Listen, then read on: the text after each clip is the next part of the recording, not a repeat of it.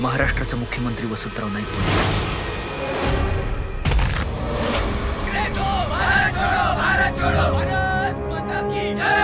गांधीजींच्या स्वप्नातला नवीन भारत घडवण्यासाठी आता आपल्याला राजकारणात उडी घ्यायला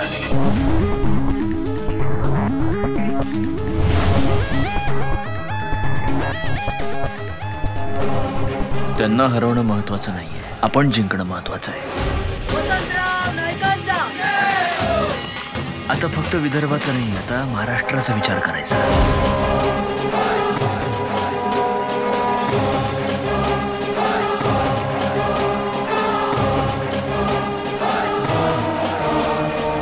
दोन वर्षात जर महाराष्ट्र अन्नधान्याच्या बाबतीत स्वयंपूर्ण झाला नाही तर मी वसंतराव फुलसिंग नाईक महाराष्ट्राचा मुख्यमंत्री फासावर जाईल